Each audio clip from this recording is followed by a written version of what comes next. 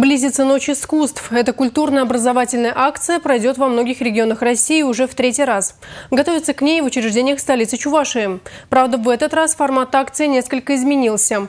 Увеселительные программы отменены или заменены на просветительские в знак скорби по погибшим в авиакатастрофе. Акция начнется вечером 3 ноября. Искусство объединяет. Под таким девизом пройдет Ночь искусств в этом году. Мероприятия для художников и фотографов, музыкантов и поэтов, юных и пожилых ждут чебоксарцев. В рамках акции будут сочетаться разные жанры. Литературные чтения, музыкальные выступления, театральные постановки и мастер-классы. Присоединиться в этот день к акции и Национальная библиотека, которая подготовила киносейшн «Смотрим кино, читаем книгу». У всех любителей кино появится возможность посмотреть любимые отечественные фильмы «Бриллиантовая рука» и «Алые паруса». Ночь искусств также пройдет и в Музее космонавтики мемориального комплекса летчика-космонавта СССР Николаева, где можно будет понаблюдать в телескоп за небесными светилами.